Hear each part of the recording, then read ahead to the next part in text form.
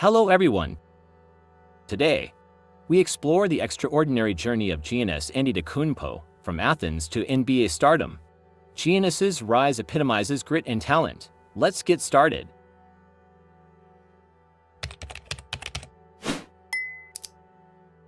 Born on December 6, 1994, in the gritty neighborhoods of Athens, Giannis Antetokounmpo's journey from a struggling immigrant family to NBA superstardom is nothing short of a modern-day epic. Giannis, the eldest of five siblings, faced economic hardships that pushed him to the brink. Basketball became his refuge.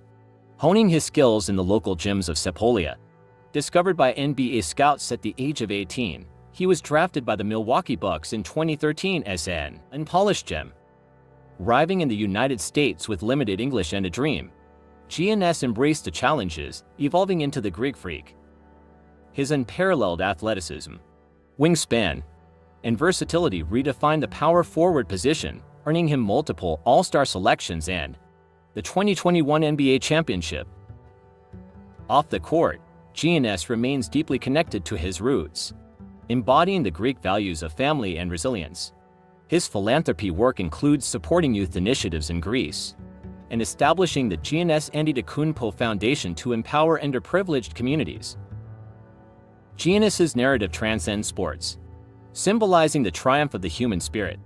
His relentless pursuit of excellence and commitment to giving back make him a role model on and off the hardwood. That's all for this video.